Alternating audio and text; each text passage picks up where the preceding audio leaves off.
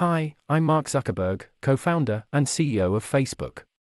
I started Facebook while I was a student at Harvard University with a few friends. I've always been interested in computers and programming, and I saw the potential for the internet to connect people in new ways.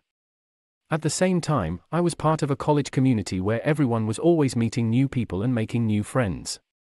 So, I wanted to create a platform that could help people connect and stay in touch with each other.